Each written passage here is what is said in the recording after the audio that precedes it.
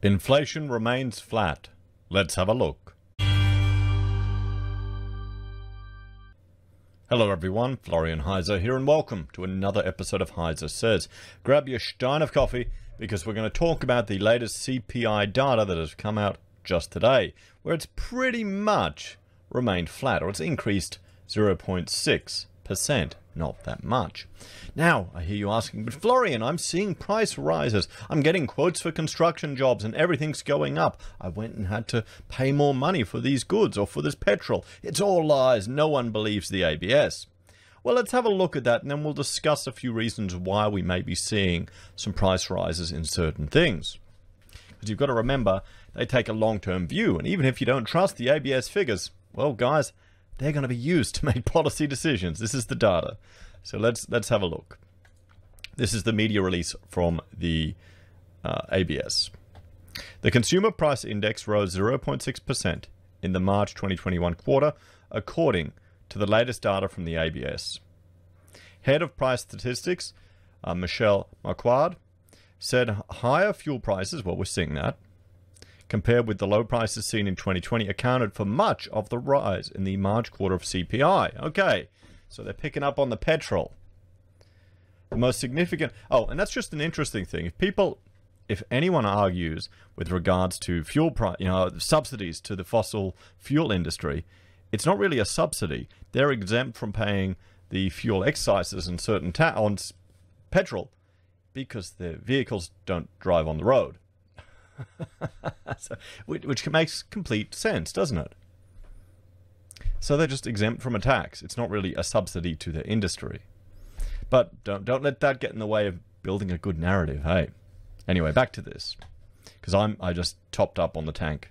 Well, honestly, I didn't. I only put a little bit in, so Rachel would have to spend more. That doesn't even make any difference to our finances, but still I do it. The most significant rise in the March quarter was automotive fuel at 8.7%, medical and hospital services at 1.5, and pharmaceutical products at 5.3, due to the resetting of the Medicare and pharmacies benefit scheme safety net. A rise in prices for accessories of 7.3% reflected higher consumer confidence and demand for discretionary items such as jewelry allowing jewelers to pass through elevated input costs. And, well, we'll look at some of these input costs relative to the construction sector. Jewelry, it's, it's going up, and so the metals are going up. So there you go, guys. With you know, take your precious metals down to the jeweler and flip it there. Might get a better rate than cashies. The introduction, continuation, and conclusion of a number of government schemes remained a factor in the March quarter, seen in price falls for new dwellings. What? Okay. And tertiary education down 7.1. Ms. Marquardt said the fall in new dwelling prices was due to the impact of the federal government's home builder grant and similar grants by the West Australian and Tasmanian state government. Okay, why then? Every, why am I anecdotally hearing from everyone that quotes are going up? And we'll look at construction costs from in a moment from the uh, Australian Building Association, HIA, uh, the PCI, that prices are going up. Sale prices are going up, but here apparently not. So we're getting two two conflicting datas, data points. Well, maybe one's a bit newer. Without the without the offset from these grants. Okay, so they're taking the grants off. The price of new dwellings would have risen. But see, the thing is with the grants, with the government money, on an individual level, it may be a good deal, but remember the government's going in 1.3 trillion in debt, so you know we're going to pay it back later. Reflecting increases in material and labour prices in response to strong demand. The federal government's Job Ready Graduates package resulted in a fall in tertiary education fees this quarter, while on average the costs for commencing students increased. Those for continuing students fell mainly due to the grandfathering arrangements included in the package. And you have to understand when we're talking about inflation, there's the traditional definition of just inflating, increasing the money supply. Then there's the, the modern argument where it's to do focusing mainly on price increases. And then you can have those price increases are due to, well, demand or supply issues, or a combination of both. And here we have, we'll talk about it, demand is shooting up because of the government stimulus. But they're not counting that stimulus uh, relative to the prices. But then also we've got supply issues manifesting too. We'll look at the shipping rates, guys. You'll be shocked at how much it's gone up if you haven't been following. The federal government, uh, we looked at that. Annual inflation for the March 2021 quarter increased to 1.1% following a rise of 0.9% in the December quarter. Price rises in tobacco and furnishing were partially offset by falls in rents, automotive fuels, and utilities. Well, we are seeing the rents going down, everyone. The trimmed mean, a measure of underlying inflation, rose by 1.1%, which is the lowest annual movement on record. This followed a rise of 1.2% in the December 2020 quarter. And here we have the CPI quarterly and annual movements. There's the annual in the blue, solid blue line and the quarterly. So it's it's not going up. And once again, the RBA have missed their target. So let's jump here and have a look at this latest release. And I'll just make sure you can see it all on the screen. So, what do we have here? What's new this quarter? Uh, main features. So there you go. We had, well, CPI crash. And a lot of this back last year was because of the free childcare. Remember the free childcare they were giving out to everyone? And that's that's how they uh, they calculated that as decreasing CPI.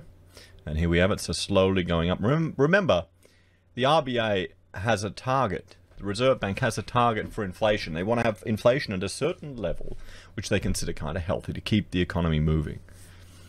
Okay because the risk, what they're afraid of, is in a deflationary environment where things get cheaper, you won't spend your money. You'll hoard it because it, it has more value.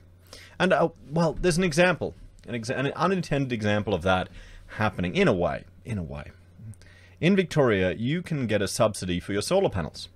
That subsidy is equal to about half the cost of the solar panels. Every month, there's, you know, you can apply for it. So the spots you can imagine go pretty quick. What do you think people do if they just happen to miss out on that subsidy? Do you think they will say, oh, well, I'll just pay the full price. I, I won't get the half price. Too bad. Better luck next time. Well, no, they don't because they wait. They wait another month. So one month of waiting could potentially mean a 50% saving on their panels. So the mon- their money will have more purchasing power for panels in this particular instance in a month's time if they happen to win this lotto, if they get in real quick. So that's actually capped that industry in Victoria. It's probably causing more harm than it is good. That's the problem when the government intervenes and subsidizes things, when it doesn't let the market make up its mind. It's the same type of thing if you have a deflationary environment. Would you rush out and spend all your money right away, or would you hoard it and really limit what you're going to spend? Same thing as with the, the crypto aficionados, people who really love Bitcoin. Have you ever actually tried to do a business transaction with someone? I remember I was doing some plans for a guy. I offered him a discount if he paid me in Bitcoin. It was all too hard. He couldn't figure out. He just wanted to hold on to the more valuable money, or as we both perceive the more valuable money. So let's keep going. And here's the weighted average of the eight capital cities. So uh, all CPI We'll go December to March is up 0.6, food and non-alcoholic beverages up 0.4, alcohol 0.3, clothing and footwear 0.5, housing 0.1. Remember, this they've adjusted it for all the freebies you get, even though the freebies will be pushing up the costs. Uh, furnishings, household equipment and services, health 2%, transport 3.2, communication 0.5, rec and culture down 0.2, education up 0.4. Insurance and financial services up 0.1, and the analytical services you've got there. So what, or the analytical series. So here's the main contributors to it, and you can see transport has been the biggest one. That's the petrol right there that's coming through. And I pretty much saw that today when I filled up. So here's the capital city comparison, and the winner is, well, winner is uh, Darwin at 2.6%. And then we have Perth and then all the rest. Where's Brizzy? Where are we? We're at 0.6. We're like Adelaide, Sydney, and Melbourne. Melbourne's doing the best. Melbourne wins. And here's by oh, percentages. And the city highlights. What do we have? Food. Perth is the highest. Well, yeah, we're going to see that. And where's the worst place to get your alcohol? Melbourne. It's flat in Sydney. It's gone down in Hobart. So there we go, guys. We will have to move to Hobart to get our beers. So if we're seeing that, the question is, why are construction costs and things like this going up, or at least anecdotally, or well, if not anecdotally, what I'm seeing from uh, this data, the the PCI. Why is it one of the aspects of it from AI Group showing construction costs going up? And we see here, um, 12 month average, you know, selling price is up, um, input prices have pushed up you know, from the 12 month average. So it's been a bit, bit of a change. And those input prices are, are, manifesting. There we go here. And selling prices as well are going up. But according to the ABS, we're not seeing it because they're arguing that the free grants kind of offset this. So, uh, well, I mean, the free grants, which people get, which uh, you're going to pretty much pay back in tax anyway in GST just in the stuff you buy. So it's just designed to stimulate. And in that regards, it's working really well everyone. It is working very well. So one of the issues is shipping costs. Shipping costs have just skyrocketed. And this has been going on for some time. This is just a snapshot from a live shipping website and just how much shipping happens around the world. The whole idea of like the Eurozone being this this block to allow all this trade, a lot of that went out the window because just modern shipping has just expanded. It's gotten so much larger and so efficient. You can ship stuff around the world where you could for pretty cheap, but it's gotten a bit more expensive. And that's going to start manifesting a lot of the imported goods, and that'll happen. That will, well, we've got a bit of a glut with containers, and we'll see that just getting access to them, and that's going to manifest in the in the goods in some of these buildings that are built and other things. Here's the the uh, Baltic Index, the FBX and it's showing you on the 23rd of April, it was at 4,370. I'll change it to a pen, 72 guys. That's pretty high. 4372. Look at that. Okay, look at what it was back in 1920, and then boom, it's skyrocketed. So freight costs are really high compared to where they used to be. And a lot of the stuff is imported. This is the the year on year pricing trends. I mean, there you go. There's last year. There's this year. Look at that.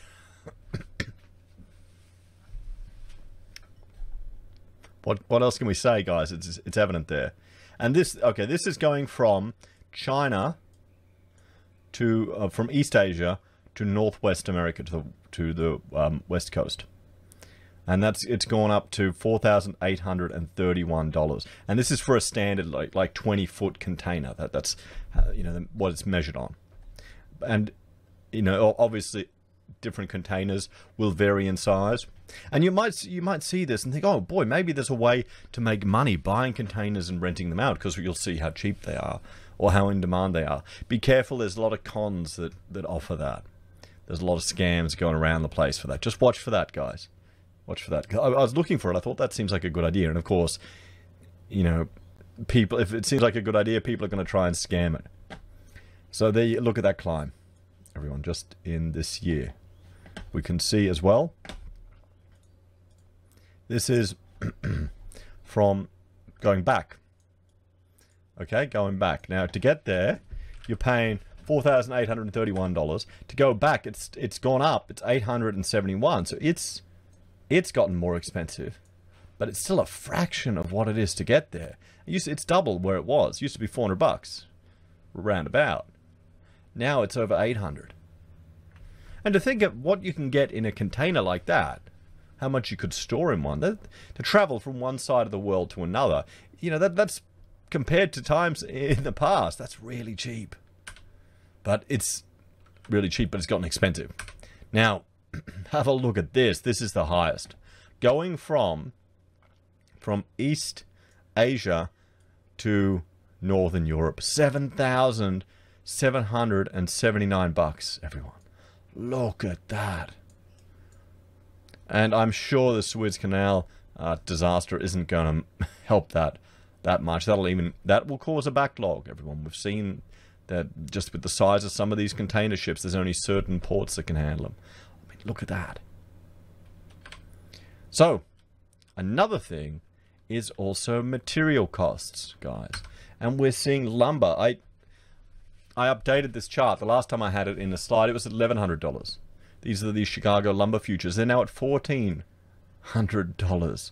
Chicago lumber futures skyrocketed above the 1400 per thousand boards for the first time on record as sawmills strive to keep pace with demand ahead of the peak spring construction season. This is this is there's two reasons for this. One is the sawmills just well they can't get the timber and they haven't they haven't got the capacity because demand has far outstripped any of their anything they anticipated. And because demand is just skyrocketing. So supply can't keep up and demand is just much higher than they thought because everyone was stuck at home and they thought, you know what, let's let's renovate, let's do the place up. So the meme of past a billionaire and it's a guy with a trailer full of timber is becoming a reality.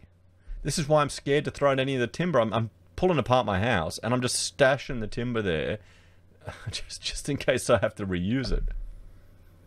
You know, the stay-at-home lifestyle has encouraged homeowners to expand or remodel their existing dwellings while record low mortgage rates exacerbated this home building spree. On top of that, supply remains quite scarce, with purchasers struggling to fulfill existing and new buying requirements in the aftermath of the pandemic driven production curbs. There you go. Here's iron ore prices. Look at that 193 bucks. $193. This is crazy.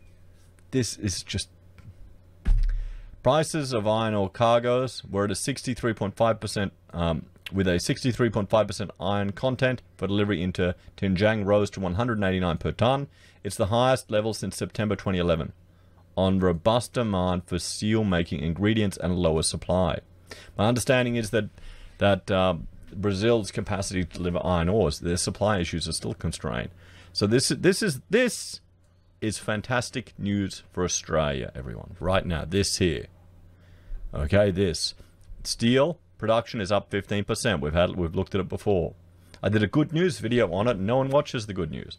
They only want the only want the, the scary news. And because if steel's going up, that means coal is going up. And if coal and steel are at higher prices, that means some parts of the mines that may not have been financially viable now could be. That means some mines that maybe they were not going to, their capex programs were scaled back. Maybe they're going to start expanding. And it does. For those of you that don't believe it flows through the economy, it does. You look, you're watching someone now who started a business on some Bechtel mines that started up, and it went through like three different companies to get to us, and we did all the drawings. Okay, so it does flow through, and then you know we buy all the stuff we bought back then. What was it? I don't know. Um, Apple iPhones and things, consumer goods. Back when we could still, you know, have smashed our breakfasts. You know. Andrew Bolt be proud. So the solutions to all of this, everyone. Now, remember, inflation can be caused by an increase in money supply, it can be demand driven, and it can be supply driven. All these three things come together. Here in Australia, we're seeing, you know, because an increase in the money supply. You know, we're seeing prices increases increasing in some sectors due to a confluence of these supply issues, increased demand issues, and increased access to home loans you've got interest, the cash rate is at such a low level. And then I'd argue that manifests in the Cantillon effect. So we're seeing a change in prices relative in perhaps the housing market to other goods and services because of the flow path of this money through the economy. And we just saw in the RBA, they're not, well, sorry, the ABS, the RBA isn't worried about house prices, they're worried about jobs. And the ABS are deducting all the grants that you get from the, these, you know, house prices so it doesn't affect it. And just, you know, you've got to realize too, when new built houses go up more, uh, that's going to push up uh, the price for existing stock because people are thinking, well, if they're paying that much for that, I have to at least give it a shot trying to sell higher. So we'll see if we hit the peak in that market. I think it's also exacerbated by the wealth divide and the K shaped economic recovery here in Australia. We saw how many first home buyers, 60%, are getting help from their parents. There's a, there is a divide between people that have access to um, wealth in Australia, intergenerational wealth that can be passed on, and those that don't. Maybe in some ways that's just Australia maturing as a nation. Have you thought about that? So even if you don't trust the ABS data and you're going, Florian, no one ever believes it, well, that doesn't matter. Because it's going to be used for the basis of policy decisions and it's going to be used in the media to persuade people, to win arguments, and to push, well, to win the battle in elections. That's that's all that matters. That's what it's for. So you've got to position yourself in a, in such a way to take advantage of it. What do you reckon? We'll see. I mean, these things can all cool down, everyone. Material costs can cool down if supply increases. Shipping costs can return to normal a given time if once the pressure is alleviated. The, remember, prices and inflation, they're not a bad thing. They're market signals. They're signals that have to ripple through the economy, and people should adjust. Maybe if you can't afford to do your house down, maybe you should wait a bit longer till you can. Maybe if someone absolutely has to get it done, they will pay that premium happily. Maybe there's an opportunity. If you maybe you know you've been hoarding shipping containers, so now all of a sudden you can flood the market and sell them at a, at a huge profit, and then alleviate some of this stress or some ships that have been mothballed can now come back online. So that's what we're seeing here. We're seeing messages sent through the market, through the economy, and these are opportunities. That's why you have to see it as well. Someone's going to do well from this. Someone's going to create new jobs. Someone, new opportunities will arise and emerge. So there we have it, guys. Oh well, I mean, I just I'm showing the home builder image here just to sh show you how much uh, that's influenced demand in the construction sector there. You know, that's why. And don't forget we got the bushfires, everyone, too. Remember remember when that we were talking about that here on the channel. The bushfires were the big news. They were they were shutting down all the shops, they were having all the economic impacts, and they were affecting timber supply. So there we have it. Thank you all for watching. Please like, share, and subscribe to the channel. Let me know your thoughts and opinions on this one in the comments down below. If you're a fan and enjoy the content I create here, there are a few ways you can support us. You can join us on YouTube or Patreon. You can sign up for Self Wealth or Stake, where if you sign up for Self Wealth, we each get five free share trades. Thank you very much. If you sign up for Stake and fund your account, we each get a free share. If you sign up for Independent Reserve using our referral link, we'll get a, a cut of the commission you have to pay to Independent Reserve. That really helps out as well. You can buy merch. We have pocket squares for sale. Find the link in the blog below. You know, and our merch. You can use Teespring to buy some Heise Says mugs and those type of things. Gold Pass from the Perth Mint, or support us via PayPal. Take care, have a great day, and I will see you in the next episode. Bye for now. Nope. There we go. Signing out now.